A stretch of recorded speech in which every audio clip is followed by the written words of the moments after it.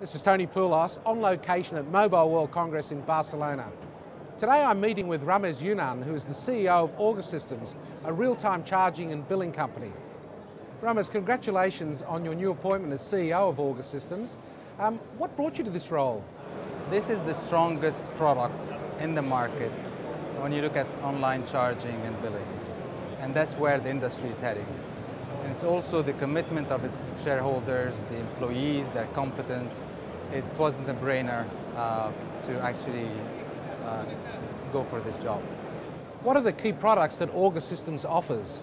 So we have a wide range of products, but we are very, very focused on the online charging uh, and rating, uh, but also we have the voucher management uh, products as well as uh, all the network enabler connections. Uh, so we have multiple suites and we uh, operational, operationalize our uh, suite into the customer environment as and when and how we see their products and services they provide. What's all the fuss about charging at the moment? Are operators looking at changing out their existing billing systems and IMs? And where does Orga fit? That's a very good question, Tony. I think that the, the, the, the, key area here is not just replacement. I think this is not what we're after, is in replacing billing with a system with another billing system or a rating with another rating. The key area here is that the, the, the uh, industry is changing. We have now 4.6 billion out of 5.6 billion. So nearly everybody other than children have mobiles now. So the growth of the industry is not going to be through addition of subscribers. It's going to be through addition of connections, machine to machine, in cars, healthcare, utilities, and so on. So the reality is that it's changing from one of those recurring charges to actually have more rating.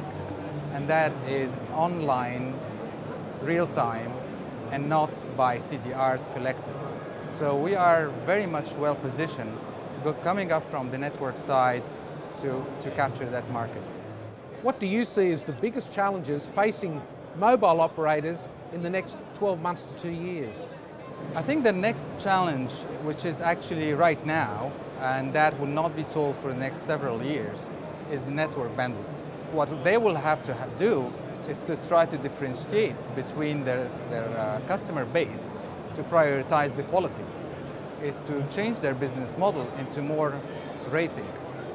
So if you reach a capacity, that capacity has to be prioritized by your rating plan or by your uh, status in terms of a customer volume.